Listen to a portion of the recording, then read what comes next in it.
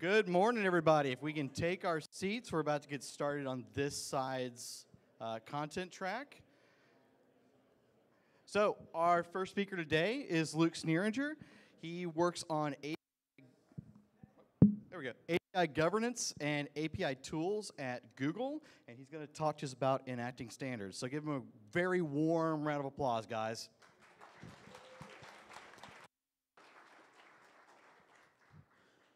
Hello, everyone.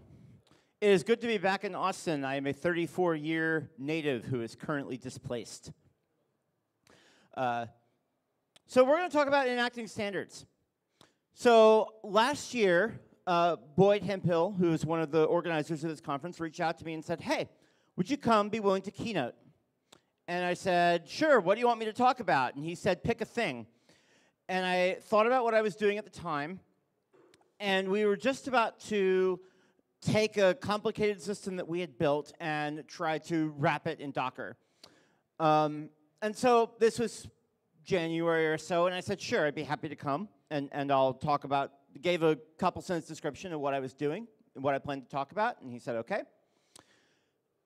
And life happened over the course of that time, and I had determined that I was working on the wrong thing. And I flew to Austin, and I'm about to give this talk, and I realized that not only have I completely changed everything I'm doing, but I don't actually know anything about the thing I was going to talk about.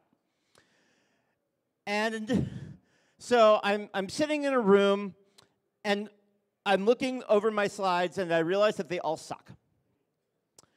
And that I needed to do something else. And I ended up giving a talk last year called In Praise of Standards, whereby I said a couple of things but it boiled down to this idea that the thing that I was working on had a problem.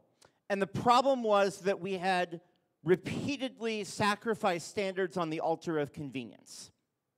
We actually had a standard. We had built a thing around that standard, and none of the things that we built on top of it were documented or standardized themselves and that the solution was that we needed to improve the standards where necessary. This is actually a slide from my talk last year, and at the end it said, improve the standards where necessary, even when it is hard.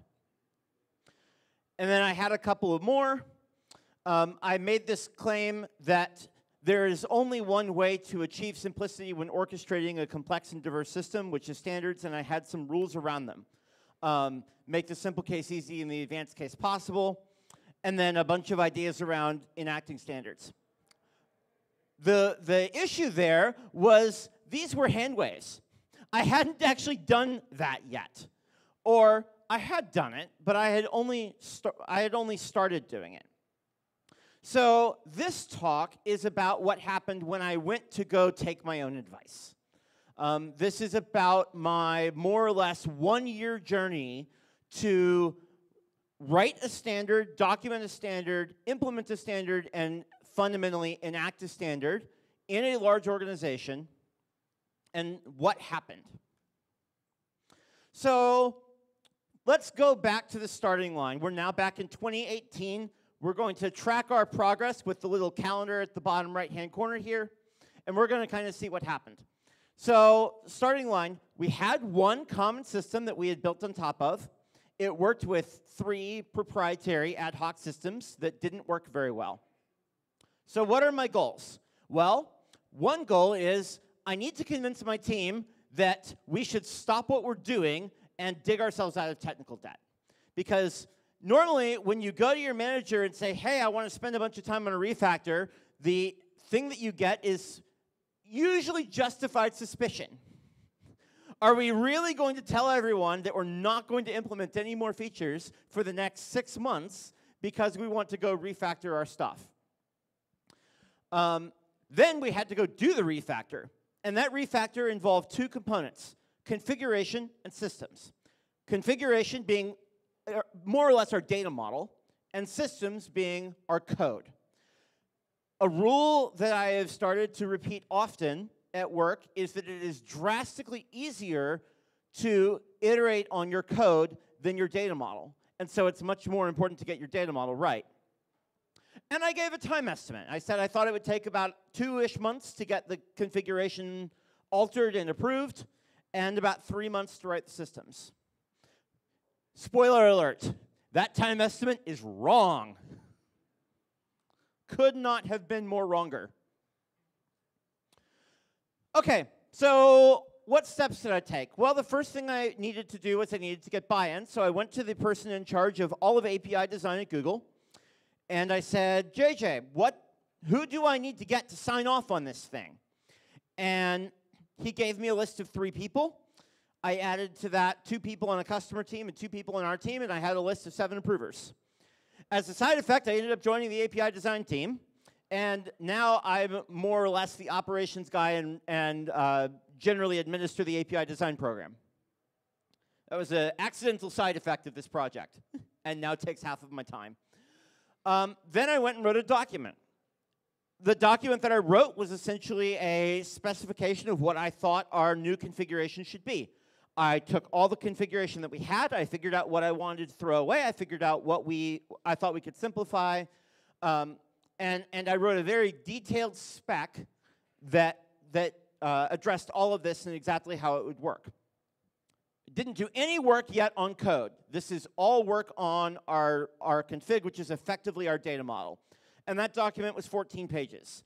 Um, well, note I'm going to be giving you page counts. All page counts are the length of the document now. So some of it might have been 12 pages at the time and grew.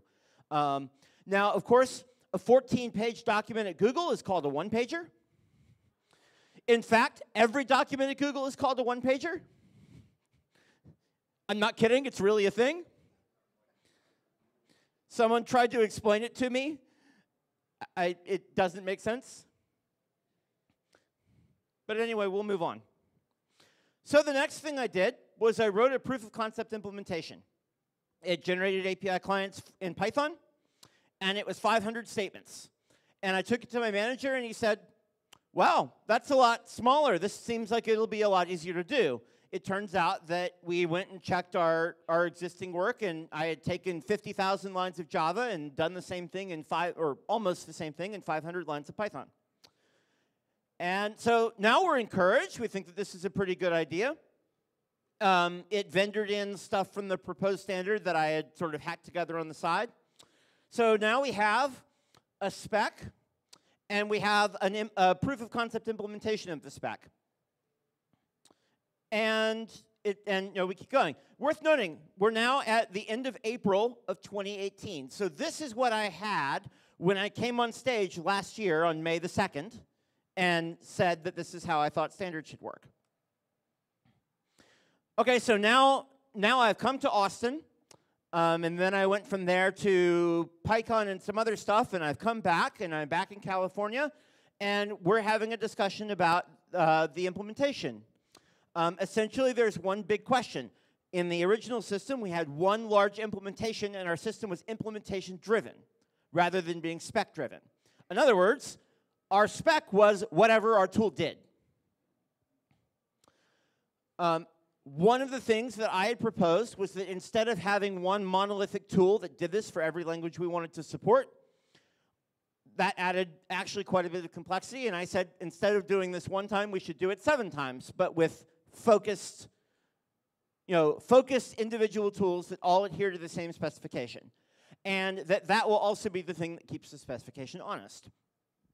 Uh, my uh, one of my coworkers didn't agree with me, and so um, in true autistic fashion, we said, okay, we'll sit down and we'll write an adversarial collaboration. Uh, meaning we'll write a document that spells out as clearly as we can why each of us think that we are right and the other is wrong. This sounds like a really, really terrible thing to do, and it worked shockingly well. Um, and that has a lot to do with who that person was uh, and the fact that we were actually very willing to just say, this is what we disagree about. Here's the common ground that we found. One of the things that we found in common ground in doing this was that we both agreed that the configuration was broken. So we disagreed on the implementation, but we agreed on the data model. And data model being more important than the code, that sounds like a good thing. So now keeping track of our artifacts, we've got a couple documents and a proof of concept. So we took that to boss. And the boss looked at the spec and said, This reads like a spec. And I said, That's because it is a spec. he wasn't thrilled about that. So he said he wanted examples. So we wrote an example document. And then we started, uh, you know, we had people getting in a room, iterating on the specification. The goal at this point is we have people working on this thing, and we want to agree on what the format of the specification is going to be. We iterate for about a month, and about once a week, I would make sure that the, you know, the implementation matched wherever the deliberations were going. Around here, we had a really interesting insight. Um, so I haven't actually said much about what this configuration is fundamentally about, but it was about auto-generating API clients from a description or a specification of that API. And we had a key insight when we were iterating, which is that an effective configuration should represent the structure and relationships. It should declare what the API is, not what the desired behavior for our tool was. And there were a couple of reasons for that, but the big one was that the things that we created would be usable by others. And it would minimize duplicate work that we did with other people. So we have more rounds of, of iteration. We decide that there's a couple more things that we're not going to do. Um, you know, another month goes by. We have an issue that ends up being a big problem, which is the way that Google does resource names. Um, and so we write a document around that. And then, huzzah, the configuration's approved. So I originally had a list of seven people that we had determined needed to approve this in order to enact it. And all seven of them have said, yes, we're happy with this. Now, we still have a couple problems. One of them is that even though we've agreed on our data model, we haven't agreed on some aspects of the implementation. But you know what? That's not actually a problem in a way that blocks work. So in order to move forward, I say I will go write a specification of the implementation. So I now have a config spec and an implementation spec. Or in other words, I have, if you're an API producer, here's how you go define your API. And if you're writing a generator, here's how you go write a generator. This is a valuable thing to have, even if we're not going to, to refactor into multiple generators, because we still need the one that we have to conform to this specification. So I go and write that. And we're about two months in, worth noting. So we started this, we were in early April. I said, you know, I think the configuration is going to take two months. It's been about two months. We've gotten approval. I'm feeling pretty good, right? Hands up, everyone who's ever given a uh, everyone who's ever given a time estimate that actually turned out to be remotely correct. Yeah, I, I, I would love to hire you. I don't usually do that. Usually my time estimates are off. That's not something that I have historically been particularly good at. So I feel great. I said it would take two months. Took two months. Awesome. Configuration, done. Implementation, time to code. At least we're going to you know, work on the thing that we agree on. So now it's time to go work on this. So I make the new configuration available on a branch because as we code, we might find some problems I missed. You know, uh, so I'm, I'm thinking of this as more or less being in, in release candidate state. Um, so I'm going to make that configuration available on a branch because we might find issues. Um, and then I create, uh, I'm going to call them pull requests. That's not what we call them internally. But uh, in our internal monolithic repository, I create, they're called change lists there, but I create basically PRs to officially submit the config. Now I get to a couple of problems. Um, and also, there's a team member who's very passionate about the implementation debate and decides he's going to go write a proof of concept Go implementation. So now I have a branch with the config in GitHub. I have two implementations, one in Python and one in Go, and I've got some supporting documentation. And I hit a problem. It turns out none of the seven people who we agreed are the approvers for this actually have the authority in the repository to tell me that I can submit the code. So I go back to the person who was doing this originally and said, hey, I need help. And you know, what do I do? And so he tells me who to negotiate with, and I tell the team to go ahead. And this is where things start going very wrong. So first we have some, some on-team issues. we, uh, you know, again, we're still deciding whether to write one large implementation or seven small ones. And uh, everyone's getting together once every three months, and we decide what we're going to do. We're going to write seven small ones. And it's a pretty convincing vote. So now we have small ones. Uh, we have now six separate generators, all of which are conforming to the spec. That's great. There's only one problem. We're still negotiating the spec. So now what we have is we have a spec that we think is approved, but it's not really approved and it's actually in flux. And we have six plus people going and implementing that spec as it is. On the on the you know, team, on the people that are going and implementing this, we find a new problem, which is we don't have a credible testing plan for these things. So we go and write one. That's actually surprisingly easy. It turns out that having a spec makes it much easier to have a credible testing plan. So I'm going through, I'm negotiating configuration changes. Um, so I'm not really notice, noting how much time has gone past, but this is a four month period. So we're now at Christmas. And the reason why this has been stuck for four months is because it turns out that the person that I have to negotiate with is um, very busy, very high level, tends to uh, not be able to go to meetings at the last minute. And so you have a team thrashing because we're trying to build our data model as we're flying the, you know, as we're building the implementation, which is more or less building the plane as you're flying it.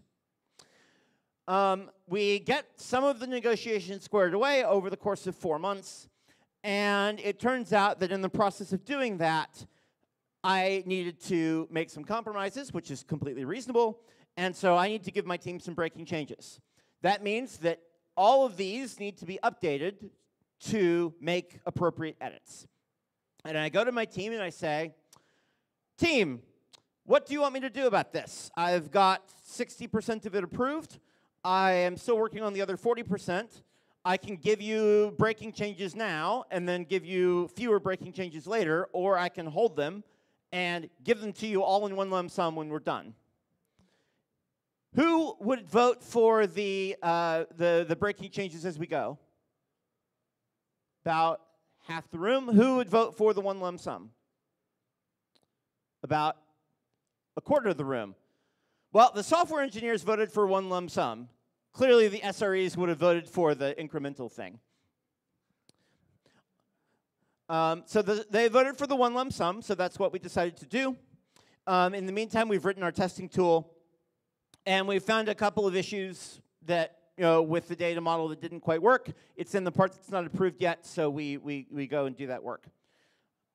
Okay, so we're still in a holding pattern. Turns out it's still hard to get meetings. Um, we now have two more implementations. So we're now at eight, including two languages we didn't support before because people are excited. And configuration is our blocking issue. So at the beginning of this talk, I said your data model is more important than your code. But now I haven't like held up that standard because I've got a data model that's in flux and I've let a bunch of people go write a bunch of code, including some contractors. Um, in theory, there's only one component left under discussion. Um, we, at this point, decide that we've gone too long. We, you know, so we decided that the people that voted for the incremental breaking changes were right, and we were wrong. Um, so we go in and everyone goes and, and updates back to the all but one thing that's, that's fixed. I went and wrote a migration guide. Notice uh, I haven't been calling much attention to it, but our, our list of like documents that people have had to write around this are starting to pile up. Um, I do a okay but not spectacular job of keeping the ones down here updated because it turns out when you write documents in June and it's now February of the next year, you may not have been perfect at going and updating all of them that in many cases repeat the same information. Um, and I've got uh, about 45 pages worth of one pagers. So it's actually hard to keep that all in track. Um, the ads group, the ads team comes to us and says that they want to use our work, uh, and so we generate another branch for them so that they can annotate appropriately. So now we've got you know three branches going on, one with the original work, one with the updated work because they need to move from here to here, and a separate one for ads that I don't know why is actually separate other than somebody else did it. So this is our state. So I'm trying to enact a standard, and what I've done is I've created chaos. The goal is the goal of a standard is that it's the only way to reduce chaos out of a distributed organization. And what we have is we have an in progress standard that we've all implemented. So I've done the opposite of what I'm trying to do. Now I have I had one implementation that we couldn't keep up now I have eight implementations and a standard that's moving underneath them. This is not a good place to be. Oddly enough, my team is shockingly okay with it. Um, I'm beating myself up, and everyone else is telling me how great of a job I'm doing. Uh, that's not a great feeling either. But this is where we are. Um, and again, we're, we've now gone nine months from when I stood up here last year and said, improve your standards even if it's hard. And I'm looking at this going, turns out it's really, really, really hard. We have more configuration concerns.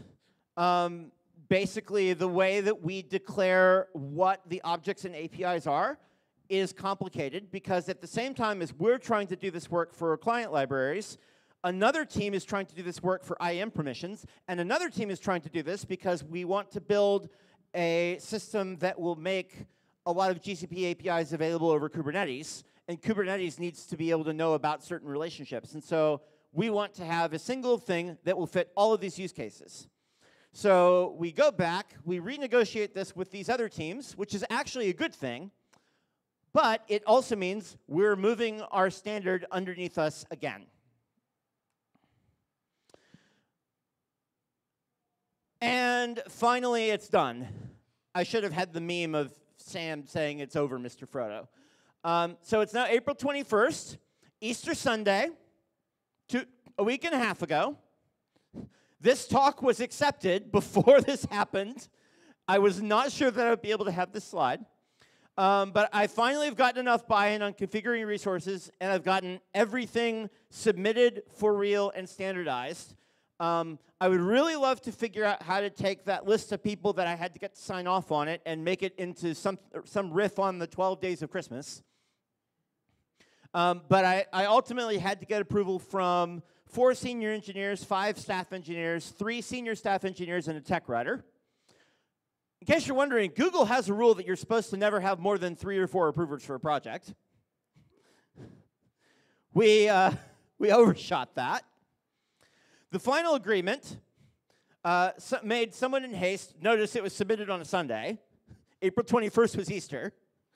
Uh, have, have more breaking changes, including to some of the things that we thought were sacrosanct. And so now we are in the process of migrating these guys again to the new thing that actually is sacrosanct, I really, really, really hope. And so now we're at today. I had told you my story. Some things worked well, some things didn't. I'm going to go over what worked well and what didn't in a minute.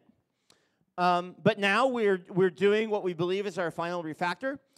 The way that we're doing it, we have our old configuration, our new configuration. We're making something called the skinny config, which is essentially the difference between the two. So everything that we didn't migrate, we're still able to keep in a side file for now so that we can you know, do a migration in place. And I'm in the process of writing even more documents, migrating existing APIs, and then, and then you know, declaring these beta and then very quickly stable. Okay, so you've heard my story. What went well? Well, something, oh, several things did work really well. One was that even though it took a lot of negotiation to get a standard through, and even though it took a year to do something that I thought would take 12 months, at every given point, the standards were actually very simple and very, very easy to understand. This proliferation of implementations happened in part because everyone could look at the thing and understand them and know what, it, know what they needed to do. A thing that I didn't really call attention to is that I wrote this one, but I didn't have anything to do with any of these. I wasn't a code reviewer. I, wa- I wasn't a reviewer to make sure that they had uh, followed the spec correctly. We had a testing tool for that. Um, in fact, I had nothing to do with any of these other blue boxes on the screen. So one thing that went well was that having standards allowed us, even moving standards, just having something allowed us to make implementations that we could be more confident in. And in fact, having those standards reified and written down helped us at every single step. Um, at some point, we realized that we didn't have anyone with Ruby expertise, but one of our partner teams had um, you know, Ruby contractors that were just amazing at Ruby and wanted to do this. So we just said, sure, here's a document. Go forth. I never talked to the people, uh, and, and neither did almost anybody else. Standards also enabled testing. Because we had standards, we had something against which to write a testing tool where we could look at all of these and be confident that they were correct and that they completed all of the required aspects. And it allowed the team to scale horizontally. And what, here's what I mean by that. Again, seven people, actually a little more, nine or 10 people, were able to go and work on implementations without having to constantly come back to me, who is traveling half the time and otherwise very busy, to ask how to do particular things. Documented standards allowed our team to scale horizontally, where before we had choke points, before we had communication things where only one person knew how various different things worked and now we have everyone able to go serve themselves when they need information. Um, because, yeah, we had a lot of documents, but we had an index of them, and people could go find what they needed. Um, another thing that went well was, was the people working around me were incredibly supportive. In fact, probably more supportive than was deserved.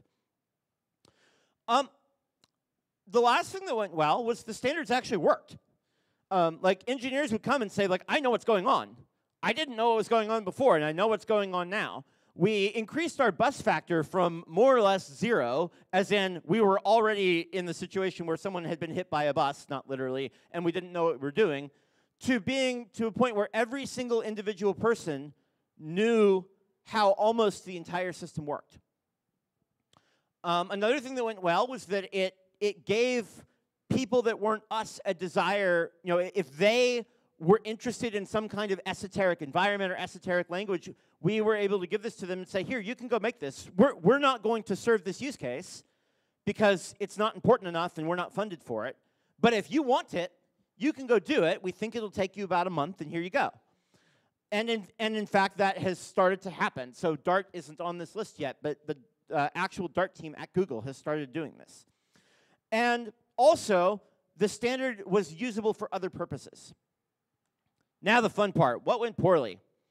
Well, approvals, we went through that. Seven approvers ballooned to 13, slightly more than the three to four you're supposed to get. Logical order. Implementing a standard that you think is approved, only to have it change underneath you, is very frustrating.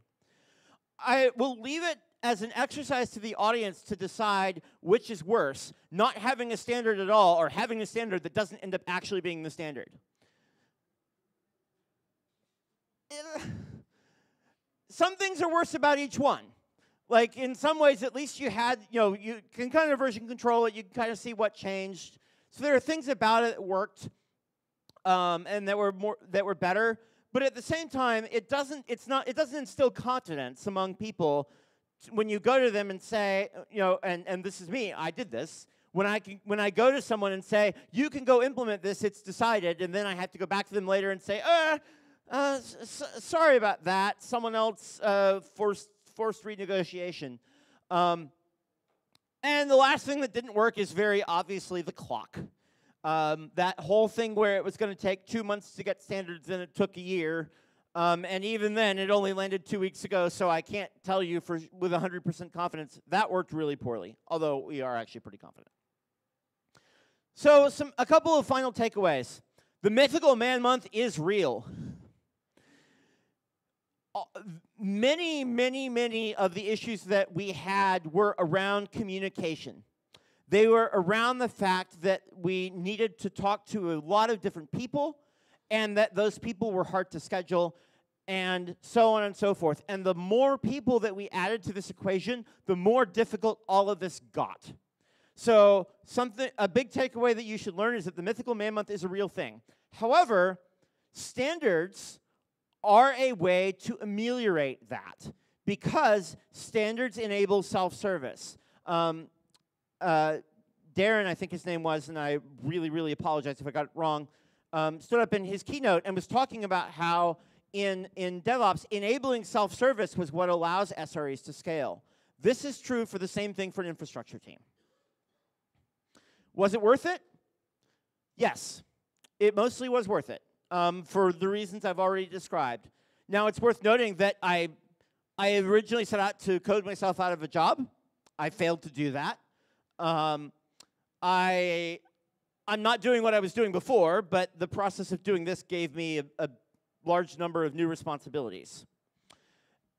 And so let's revisit this slide. I put this slide up at the end of my talk last year what, what went, uh, how's it held up? Actually, it's held up pretty well. Um, you know, th these general principles at, uh, at, up top, I, I more or less followed, and they served me very well. Uh, here's my diff.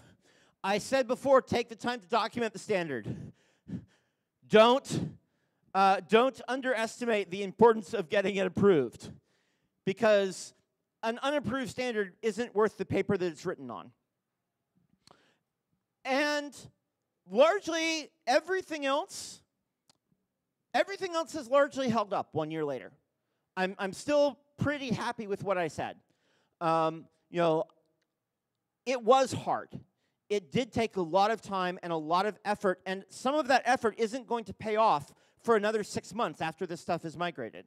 But the effort is still valuable because it's what allows self-service, it's what allows understandability, and it's what's going to allow us to move forward. So these standards for standards have largely worked for me over the last year, and I still recommend them to you as a useful mode of thinking. And that's all I got. Do I have time for questions? I am told by our MC that I do have time for questions.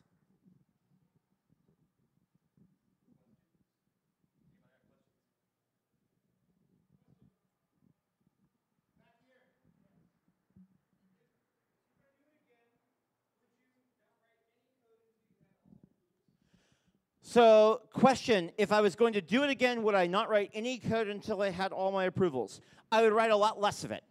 Um, that, that first, th this first proof of concept implementation, we couldn't have gotten it right. Like the approval wouldn't have been worth anything at that point because I would have found the I would have found mistakes in what I was doing when I coded the first one.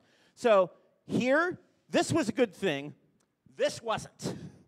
Um, maybe even having a couple like the, the second one, we probably caught a couple things. Um, but the, the farther up it went, the, the, the more that didn't work out very well. I think I have time for one more question based on the one minute flag I just got. One more yes. question? If you've, got, if you've got a team of people waiting to go to work on this, but you're working the standards process, how do you keep that team engaged to where they don't move on to other work, stay interested, if you could do it over again, could you sick them on seeking approvals, things like that? Yeah. So, question is, how do you how do you keep the team busy? Um, so it turned out that we had so much toil that that didn't end up being a problem. In fact, it ended up being a problem for me more than the rest of the team because my major job is getting the standards through. I'm stuck, so I took on other work. So the reason why I now administer the API governance program at Google is because I was bored waiting for approvals. and so started going and doing something else. Uh, and, and, so, of course, now I have lots of work to do with my, with my standard approved. Um, so it turned out that we had so much toilet that was surprisingly not a problem. Uh, if I had to do it over again, if I had to do over again, I think um, the thing that I would do is I would nag more, actually. Um, the, the, like, I, I have a really, really hard time with, with social questions, and it was really hard. Like, if someone cancels a meeting, and they say, Well, I can't meet with you for another three weeks. You know, at some point, I think the big thing that I should have done differently there is I should have said, 12 people are waiting on you. like, you know, either take this seriously, get out of the way, or block it so that we can go do something else. That's the thing that I really should have done differently there. And I believe that I am out of time. Oz.